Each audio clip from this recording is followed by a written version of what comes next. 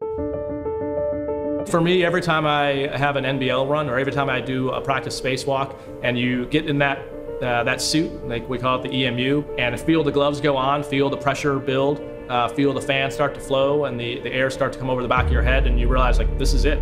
That's when it really strikes me that this is this is actually not a dream. This is actually happening. I'm uh, Raj. I go by Grinder. Uh, I grew up in uh, Iowa and went to the Air Force Academy and then MIT and then uh, was an Air Force test pilot.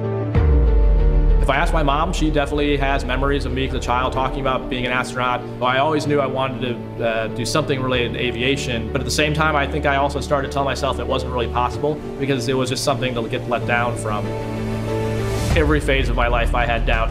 Uh, whether it was at the Air Force Academy and wondering whether I could survive basic training, whether it was uh, when I was at MIT or even pilot training, uh, failing check rides, uh, and thinking again, maybe maybe I'm on the wrong path. But I think in all those events, I've been blessed to have a supportive family, supportive spouse, supportive mentors and leaders who helped me at the time realize like, hey, these are setbacks and, and you get better by tackling those head on.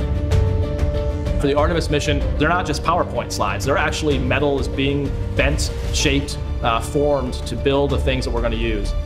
And as a, you know, as a test pilot background, this is, uh, you know, a dream job to actually be involved in all of this. Now looking back, I would have told myself, hey, just just pause and appreciate what's actually happening around you and the magic of the moment that you're in.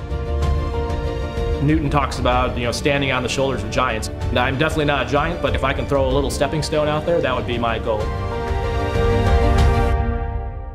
My name is Raja Chari.